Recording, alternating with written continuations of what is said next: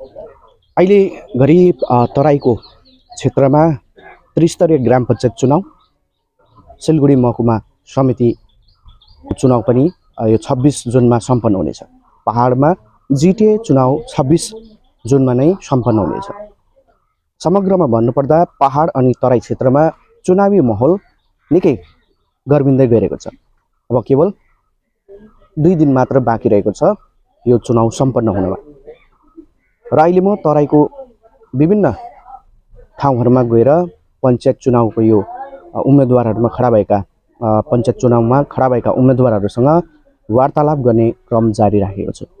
र अहिले म दुई सौ नौ यो सिसोडाङ्गी संसदीय क्षेत्रका उम्मेदवारसँग म वार्तालाप गर्न आइपुगेको छु। तपाईँले फ्रेममा देखिसक्नु भएको छ भारती चिकबडाई जो एक आदिवासी समुदायबाट उहाँ हुनुहुन्छ। र आउँ उहाँलाई स्वागत गर्दै यो वार्तालापको क्रमलाई अघि बढाउँ अ, आपका स्वागत है चैनल पर। ठीक है। मेरा नाम भारती ब्राइक मैं सिसोडंगी संसद से हूँ। आप भाजपा के एक कैंडिडेट है। हाँ, भाजपा की तरफ़ से आप ये ग्राम पंचायत चुनाव में आगे आई है अ, आपका मेन पॉइंट क्या है? जैसे कि आपका गाँव में आपके क्षेत्र में किस तरह का समस्या है और आप क्या करना चाहेंगे? मैं तो देखिए इतना साल से सीपीएम का गढ़ था। हम्म। हम लोग चाहते हैं इस बार बीजेपी आए। बीजेपी का यहाँ पे इस बार बीजेपी जीते। मैं कैंडिडेट हूँ बीजेपी का। तो बीजेपी आके यहाँ पे परिवर्तन लाना चाहता है। इतना साल से हम लोग का खाली रास्ता बन जाता है ड्रेन। वैसे ही है। हम्म, हम लोग का ड्रेन चाहिए। पानी में पूरा पानी में हम लोग का डूबा हो जाता है। हम्म, मैं जहाँ जहाँ सर्वे की डोर टू डोर घूमी पंचायत के लिए मैं बोली मैं इस बार उठी हूँ। तो सबको मुझे बोल रहा है वो लोग का असुविधा हम लोग का ड्रेन नहीं है। तो मैं तो स्टार्टिंग में ड्रेन देना चाहती हूँ और घर घर में महिला दादी नाना सब मुझे असुविधा बोला। तो मेरा विधवा भत्ता वृद्धा भत्ता कितना कोई का किसी भी नहीं है। हम्म। पंचायत आता है और रोज बेरोजगारी हम लोग का जॉब कार्ड इम्पोर्टेंट है वो भी नहीं मिलता है। पार्टी से होता है एक घर मिलता है एक घर नहीं मिलता है। वो सब हम मेरा में भेदभाव में कभी भी नहीं रखूँगी। इससे पहले जैसे कि आप भाजपा या राजनीतिक दल में आने से पहले आप अपने व्यक्तिगत जीवन में क्या करते थे? मेरा व्यक्तिगत जीवन में मैं सालबाड़ी आश्रम में टीचर करती हूँ मैं तीन साल से आश्रम में हूँ वहाँ पे समाज सेवा में चलाती हूँ हम्म। और गाँव गाँव में सर्वे भी करती हूँ डेंगू मलेरिया का वो जीवन आपने बिताई हाँ। जो आपने कहा अभी पैदल तो- जाती हाँ। हूँ सर में अ, वो जीवन तो आपने बिताई हाँ, लेकिन अभी राजनीति में प्रवेश किया है हाँ। हाँ?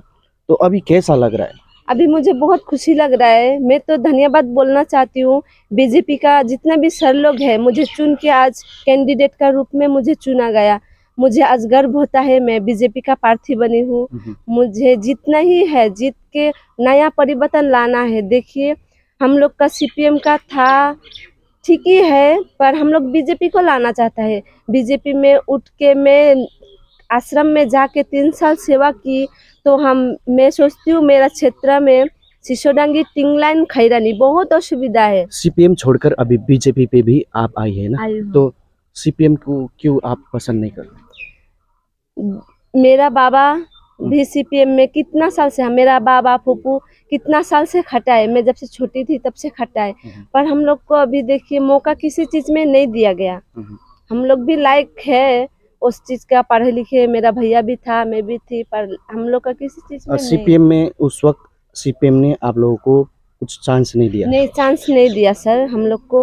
तो इस बार हम लोग को बीजेपी ने चांस दिया मुझे वो लोग भी चुन के दिया। कौन हम लोग का क्षेत्र में काम करने सकेगा वैसे चांस दिया।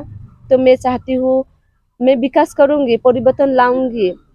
स्कूल से लेके मैं टी बोर्ड विधवा भत्ता वृद्धा भत्ता पेंशन जिसका जिसका नहीं होता है क्योंकि मैं अंचल में जाती हूँ कहाँ पे क्या काम होता है नहीं होता है। अभी से शुरू कर दिया आपने? हाँ शुरू कर दिया क्योंकि मैं डेंगू मलेरिया का काम हम्म। करती हूँ अंचल जाना पड़ता है हम लोग को साइन करने के लिए। तो कौन कौन कहाँ पे बैठता है मुझे मालूम है। मैं चाहती हूँ ये खाली रास्ता और ड्रेन बना के मैं छोड़ दूँगी रोज और जॉब कार्ड का काम घर घर प्रत्येक घर को देना चाहिए। वो तो है पर मैं पर्सनली पर्सनली मैं काम करना चाहूँगी किसी का घर में वो टी बोर्ड का पैसा बच्चा लोग का उसमें भी मैं आगे हूँ उसका काम भी मैं कर सकती हूँ और आप जब चुनाव प्रचार करने के लिए डोर टू डोर अभियान छेड़ते ना हाँ। आप जाती है तो उस वक्त गाँव का और आप आपका जितने भी संसदीय क्षेत्र का लोगों को लोगों लोग आपको अ, किस तरह से आपका प्रशंसा करती है और आपको क्या कहते हैं? मुझे तो बोलता है, सर, सबको भारती तुम्हें, तुम आया है, तुम, हम लोग को बहुत खुशी हुआ, क्योंकि तुम सालबाड़ी में भी तीन साल किया और मेरा जो व्यवहार है सबसे अच्छा है, मेरा व्यवहार सबको, मेरा आवाज़ कभी भी कड़ा नहीं है, मिठाई है, सबसे मैं, सबको देखने से गोर लगी, जय सुमा, ऐसा सबको बोलती हूँ तो वो लोग बहुत खुशी है भारती तुमको ही इस बार मिलना चाहिए। पूरा हंड्रेड परसेंट मुझको श्योर है बीजेपी इस बार टिंगलन सिसोडांगी में आएगा आएगा आएगा। आपका ये सरल और सुशील स्वभाव से लोग प्रभावित है आपसे। हाँ प्रभावित है सर। अ, तो ये तो आपके लिए बहुत बढ़िया बात है। तो अभी आपका संसदीय क्षेत्र में आप जितने भी लोगों से मिले और उन लोगों का क्या कहना है कि उन लोगों का समस्या क्या है अभी तक? समस्या सर देखिए बहुत है बहुत है। मुझे एक आपका जटिल समस्या संसदीय क्षेत्र का आपका जितना भी संसदीय संसदीय क्षेत्र है ना वहाँ का जटिल समस्या क्या है? क्या लगा आपको? जटिल समस्या तो ड्रेन स्टार्टिंग में ड्रेन एकदम ही नहीं है। हम्म, रोड देख के इधर इधर ड्रेन नहीं है। जब आप पंचायत चुनाव में विजय हासिल कर कर आप जाएँगे ना पंचायत में तो आप क्या करना चाहेंगे पहले? पहले तो सर मुझे तो खुशी होगा जीतूँगी तो क्योंकि मुझे पाँच साल के लिए मुझे गाँव की विकास करना है। वो लोग मौका मिलेगा मुझे वो लोग को सेवा करूँगी मैं वहाँ पे जाके। किसी का क्या प्रॉब्लम है नहीं है मैं सेवा करना चाहती हूँ। अपना मन से सेवा में मैं तो लगी रहूँगी। किसी का कुछ है ड्रेन व्रेन मैं रोजगारी दूँगी पर घर का जितना प्रॉब्लम है मैं वो लोग नहीं जानता है ना अंचल में क्या काम करना पड़ेगा। वीडियो में क्या काम करने नहीं जानता है सब में काम उठाना चाहती हूँ मेरा तो है वो काम। आपके क्षेत्र में प्राइमरी स्कूल कोई प्राइमरी स्कूल है? है सर वहाँ का शिक्षा व्यवस्था कैसा है? इस इस बारे में आपका क्या राय है? मेरा यहाँ प्राइमरी स्कूल है तो यहाँ ठीक ही है। और भी मैं बोलना चाहती हूँ पढ़ा लिखा लड़का लोग है उसको भी चांस मिले मौका मिले। क्या अच्छा करने के लिए क्या करने के लिए चांस मिले मौका मिले? सर पढ़ा लिखा है यहाँ पे सर भी चाहिए होगा शायद। शिक्षकों को नियुक्ति के लिए। हाँ। अच्छा ये भी बड़ी बात है आप हम्म, शिक्षकों के लिए। हाँ।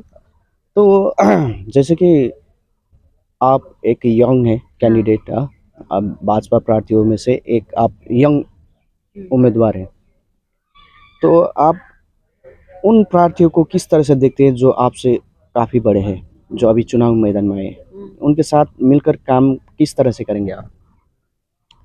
मैं तो काम तो करूँगी वो लोग का राय लूँगी। अब मेरा भी वो लोग का राय से मेरा। तालमेल रख के काम करेंगे? तालमेल रख के काम करेंगे। अच्छा।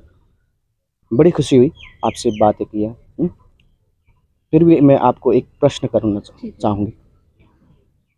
अब राजनीति में आए हाँ, जैसे कि आपने बताया सीपीएम में पहले अपना पिताजी सीपीएम में था तो अभी सीपीएम का जितने भी आपके क्षेत्र में सीपीएम का पंचायत जो था उन्होंने किस तरह से काम किया? आपने उसको किस तरह से देखा?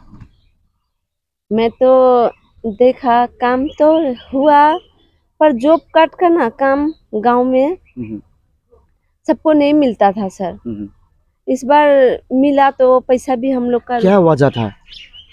वजह देखिए पार्टी है ना। हम्म, तो पार्टी का पीछे अपना पार्टी को देखता है ज़्यादा। हम्म। तो आप भी पार्टी को देखेंगे या सभी जनता को समान रूप से देखेंगे?